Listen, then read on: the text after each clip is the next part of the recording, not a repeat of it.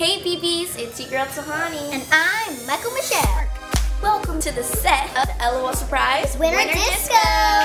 This is the biggest shoot that we've ever done. It's a combination of stop motion and live action and some computer animation.